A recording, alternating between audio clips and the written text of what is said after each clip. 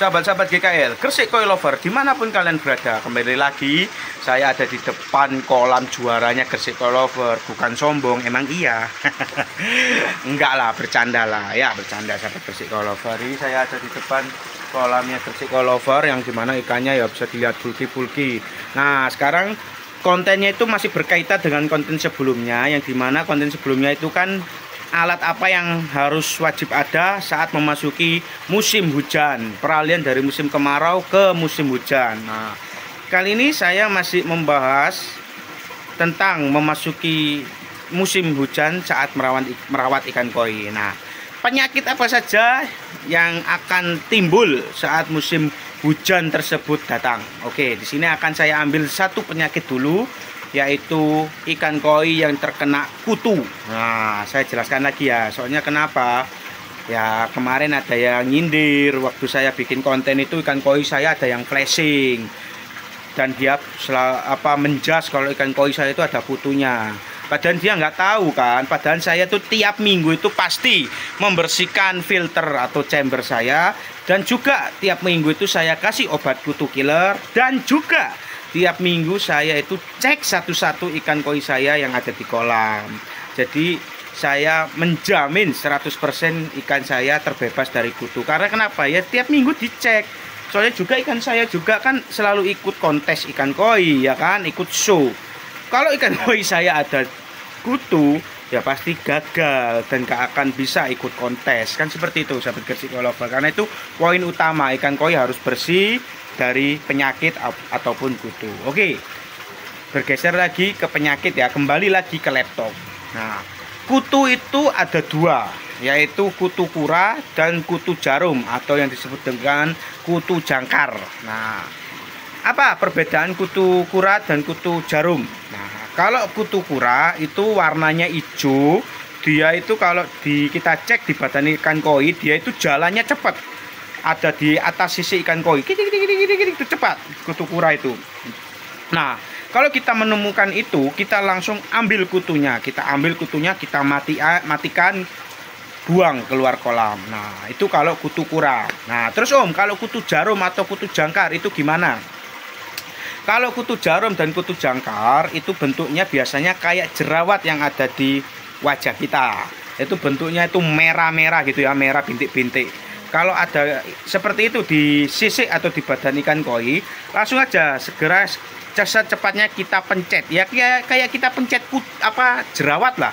Kita pencet cetes gitu ya sampai keluar kutunya. Nanti sebagai KL lihat sendiri kutunya itu bentuknya kayak jangkar kayak jangkar kapal. Makanya kenapa disebut kutu jangkar? Seperti itu seperti psikologer.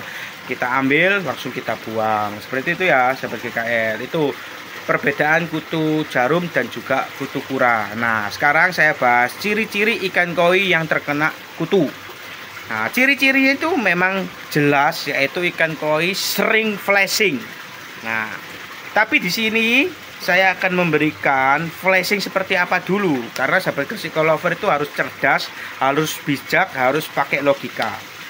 Benar, ikan koi kalau terkena kutu pasti flashing. Tapi kita lihat dulu. Kalau dia misalnya ada ikan kita satu jenis ya. Kita ketahuan ikan itu flashing. Kayak misalnya jenis kuaku flashing. Set. Nah, kita tandai dulu ikan itu.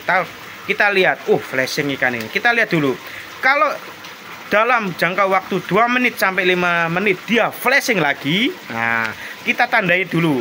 Kalau gitu flashing lagi nggak lama flashing lagi ikannya. Nah, berarti benar kalau ikan itu pasti ada kutunya. Langsung kita ambil kita cek kita taruh bak kita cek. Ada kutunya enggak dibolak-balik. Kalau ada kita buang. Kalau misalkan kita lihat di kolam kita sendiri atau kolam orang kalau dia flashing pertama kali set. Terus dia kita cek lama flash enggak flashing flashing. Ya itu bukan berarti dia ada kutunya sahabat gesik lover ya mungkin dia itu hanya gatal tapi bukan gatal karena kutu. Nah, ya logikanya seperti inilah. Ikan itu kan makhluk hidup sama seperti kita. Kita juga makhluk hidup. Ibarat ya, kalau rambut kita gatal, misalnya, ini saya pakai logika. Logika yang sederhana. Kalau rambut kita gatal atau rambutnya teman kita gatal, pasti kan kita garuk ya. Pasti kita garuk. respon kan itu pasti respon kalau gatal pasti kita garuk masa kita menjas kalau rambut kita itu ada kutunya mau dibilang kayak gitu? Enggak kan? Terus teman kita lagi garuk kepala terus kita nyebut ih kepalanya ada kutunya rambutnya ada kutunya marah enggak teman kita. Ya, mungkin anda langsung dilempar botol mungkin. Ya pasti marah lah. Jadi kita nggak boleh langsung menjas orang tersebut terkena kutu. Nah sama saja kayak ikan koi. Kalau dia flashing cuma sekali terus nggak flashing lagi bukan berarti dia terkena kutu. Terkecuali kalau dia flashing berkali-kali berarti fix dia kena kutu. Seperti itu logika mudah aja logika sederhana seperti itu ya jadi nggak semua ikan koi flashing itu ter terkena kutu. Seperti itu sahabat bersih lover semoga pengetahuan yang saya berikan ini bisa bermanfaat untuk sahabat gresik lover yang ada di rumah. Jadi jangan apa-apa itu langsung menjas orang ya. Jangan menjas orang wah ikan itu flashing. Ikan anda terkena kutu om. Bikin konten bisa pinter berbagi ilmu tapi ikannya aja terkena kutu. Ya jangan gitulah anda kan belum tahu apa yang saya lakukan di balik layar ya kan? Jangan langsung menjas seperti itu. Kalau Anda nggak suka sama saya kritiklah dengan baik. Soalnya saya yakin Anda itu orang berpendidikan Anda juga disekolahkan Anda juga ilmunya tinggi orang pintar juga. Pasti Anda punya etika lah etika berbicara yang enak itu seperti apa. Jadi bicaralah yang enak ya dapat lover. Bicaralah yang enak jangan asal menjas orang seperti itu. Jadi kembali lagi ya kalau saya salah ya mohon maaf saya juga nggak sempurna. Kritik saya tapi kritiknya dengan yang baik. Seperti itu. Pasti saya jawab dengan baik juga. Oke semoga ilmu kali ini sangat bermanfaat dan sahabat lover jangan mudah terkena hoax ya. Jangan mudah terkena hoax atau ilmu-ilmu palsu yang sekarang mentang-mentang apa media sosial itu mudah dibuat ya. Jadi hati-hati lebih bijak lebih pintar pakai logika.